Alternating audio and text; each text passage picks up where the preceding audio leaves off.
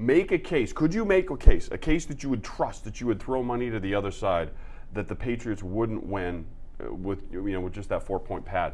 I think it's a tough call. If we're on an even playing field here, and you're coming off that Baltimore game, and they're licking wounds, and they didn't have the extra week, and Philly's a full squad, they've got Alshon, they've got everything. Well, then that's a different conversation. Uh, but I think when you chip away at it, no DeSean and no Alshon, and you lose your top back and the quarterback has been okay, but you know you strip away those those extra layers of protection, and in the absence of that back, they lose Darren Sproles, who would be sort of the fill-in that you would expect to help.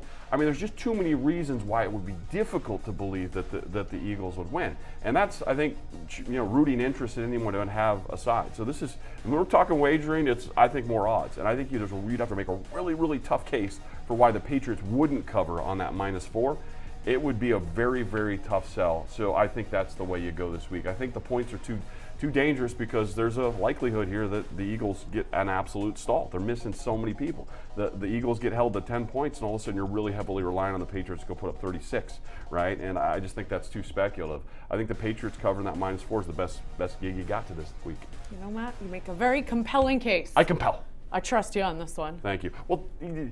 It's been an up and down year on that, by the way, folks. Uh, no island buying. I think well, we're, that's we're, that's why I say it yeah, though. This I is the most that. faith I think I've had in you all season. Oh well, thank you. So,